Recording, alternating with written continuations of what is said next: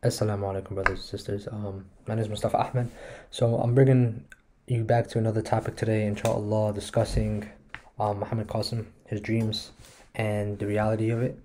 So today I was watching a video by uh, another scholar um, who's saying saying that Muhammad Qasim is not really being truthful. It's not, um, you know, making lies. There's there's a lot of people who are making lies about Islam. Um, I don't think he's being very deceitful um, for a couple of reasons. So the first one, um, his message is again just spread my dream. Um, it's talking about shirk and how to abolish shirk. He's always talking about how to follow the religion, how to do good stuff, right? Read the Quran, read all the stuff. So that's not somebody who's being telling a lie, but that's easy. The second one, I think um, he's forty years old. So if he would, if somebody would be telling a lie, he would have started much earlier than him being above 40 now, you know, he doesn't really have much to gain in his elder years, right?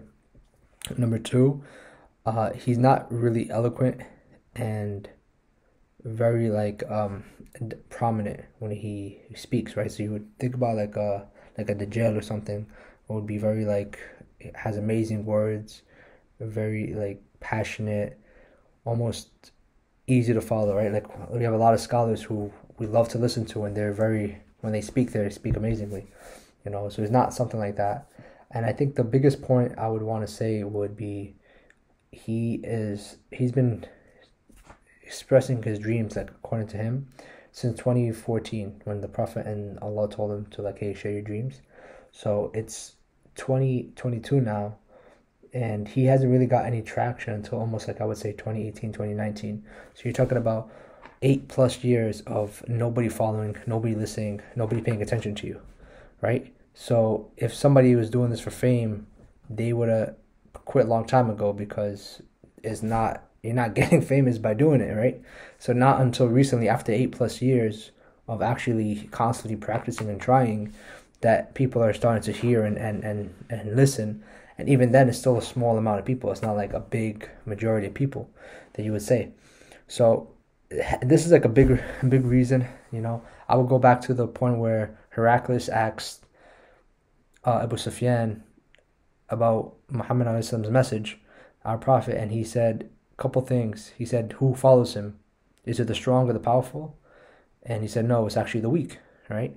He said is anybody when he comes into this religion does he get away from it right?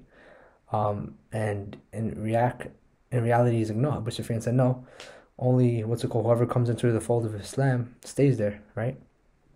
And the last one was he said what's it called um now what's what's his message? What is he preaching? Right? And he said he's only preaching you know to keep good ties you know, stay away from shirk, stay away from idolatry, stay away from all these bad deeds, right? And even Heraclius, who did not accept Islam, said this is the sign of a true message, right? When his his followers are the the, the weak and the meek, and whoever comes into his his message stays there. And the last one would be that he's he's spreading a message of Tawheed, right? A message of the oneness of Allah. So I think these are some factors to consider again, we always say Allahu Alam. You know, we're not claiming 100% of anything. There's really uncertainty of everything. But from the facts that we see, you know, not a lot of people are following it.